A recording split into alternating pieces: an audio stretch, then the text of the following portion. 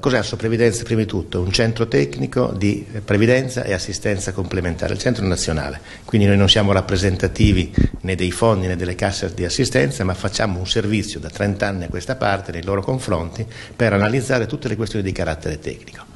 In questo contesto eh, stiamo dagli ultimi anni particolarmente osservando anche le tematiche degli investimenti, eh, che sono ovviamente alla base dell'attività dell'una e dell'altra tipologia di enti e sugli investimenti negli ultimi anni stiamo affrontando anche le tematiche degli investimenti alternativi. In questo contesto tra gli investimenti alternativi ovviamente molto importanti gli investimenti in infrastrutture sociali,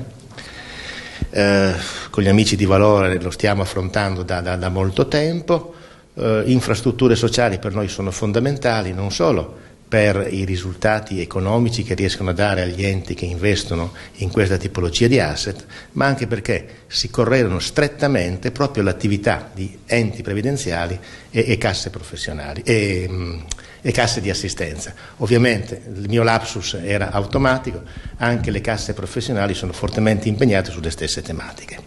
Eh, allora che dire? Eh, perché infrastrutture sociali? Eh, perché eh, rispondono a un'esigenza del Paese e quando parlo di infrastrutture sociali mi penso alle strutture sanitarie, penso alle strutture per gli anziani, le cosiddette RSA che si possono declinare in varie, in varie tipologie, penso anche sul versante opposto dei giovani agli studentati, che sono un'altra esigenza del nostro Paese.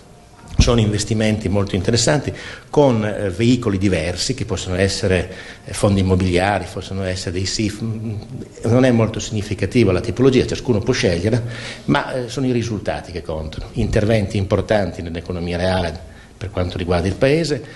interventi che danno un risultato economico stabile e continuo nel tempo e quindi direi una di quelle operazioni assolutamente eh, win-win, come direbbe qualcuno, per investitore e per, e per, soggetti che ne beneficiano. In questo Paese l'investimento principe per molti anni è stato da un lato il titolo di Stato,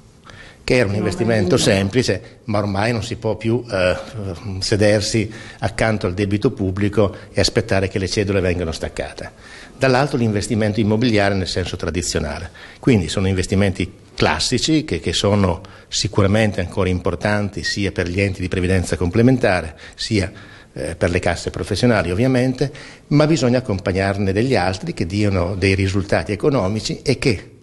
questo è un dato molto significativo, fermo restando che gli enti previdenziali di primo e di secondo pilastro devono assolvere prima di tutto la loro missione, dare delle pensioni, possono anche andare a dare dei benefici importanti per il Paese intervenendo su quella che con una locuzione un po' abusata si chiama appunto l'economia reale.